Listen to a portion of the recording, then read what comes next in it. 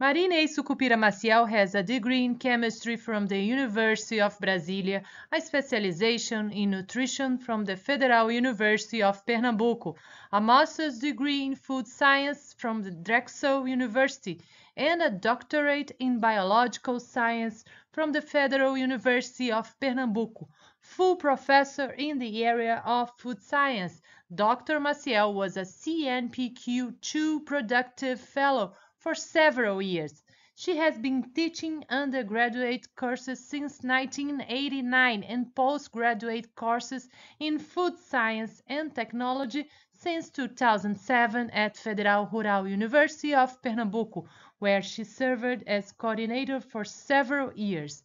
In 2014, Dr. Maciel also became a permanent professor in the University of Paraíba postgraduate program reviewer of journals such as Food Research International, Food Chemistry, Food Science and Technology, Foods and Science and Agrotechnology, associate editor of the Brazilian Journal of Agricultural Science.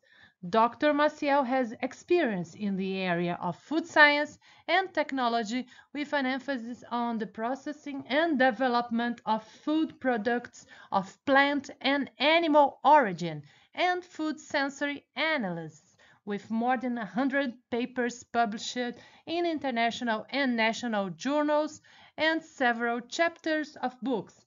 Member of the Consumer Network of the Public Ministry of Pernambuco.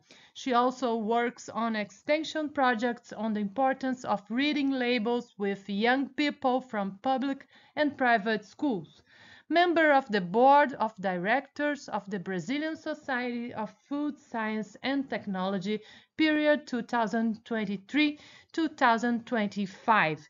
She has supervised 50 undergraduate students, 45 masters, and 10 doctoral students.